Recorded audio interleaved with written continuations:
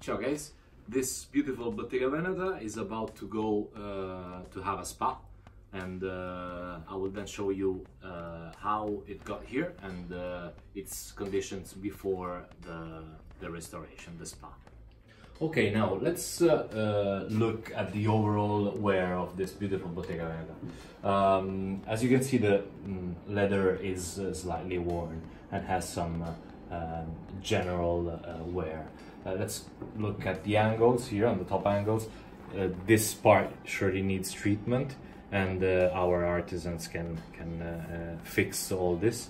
Uh, the, one of the handles have, has this leather part detached and this can be solved as well as these parts here. Let's look at the bottom. Yeah, there is some some general light to medium wear here, which uh, uh, all can be restored. The back is in pretty good shape and uh, yeah our craftsmen will will do a really a good job on this woven beautiful bottega veneta and the bottega veneta just came back after the bag spa uh, as you can already see and as uh, i will be able to show you in a, in a few seconds uh, all the details of the bag it's in marvelous shape the corners and the the, the back and, and the bottom has been uh, restored and uh, refined. So uh, let's go and see the, the details of the bag. Okay, let's quickly go through um, the spa result.